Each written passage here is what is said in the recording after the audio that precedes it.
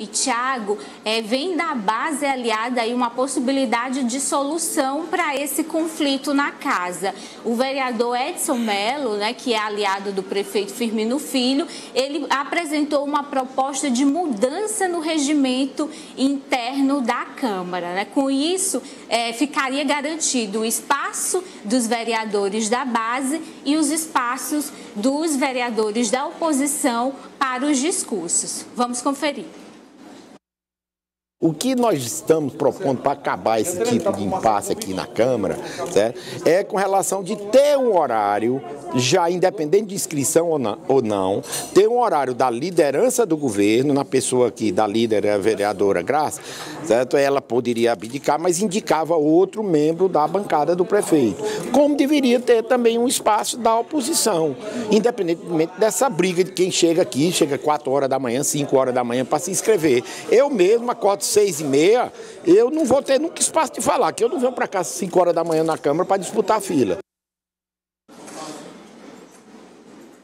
E como o vereador Edson Mello aí, que preza aí mais umas horinhas de sono, o Elivaldo não quer madrugar, chegar na, na Câmara às 5 horas da manhã, tem muito parlamentar também que afirma que tem deixado de discursar, de se pronunciar na casa porque não quer entrar nessa disputa, né? Então, com essa mudança no regimento, pode ser que agora os espaços para os 30 parlamentares, né, não em todas as sessões dos 30 falando, claro, mas o espaço para oposição e a base estejam garantidos, Tiago.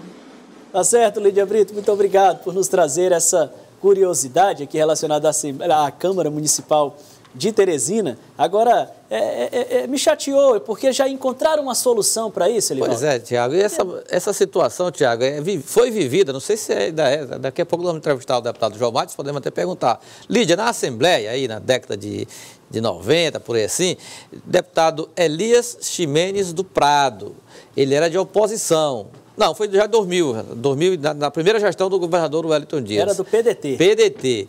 Ele combativo. chegava na Assembleia, combatia, ele discursava todo dia. Todo dia ele discursava, todo santo dia. Aí foram saber, os deputados ligados ao governo, por que, que estava acontecendo aquilo.